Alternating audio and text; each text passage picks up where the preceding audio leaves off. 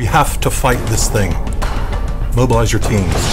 We need everyone behind us if we're going to contain this epidemic. And people, this is not going to be easy.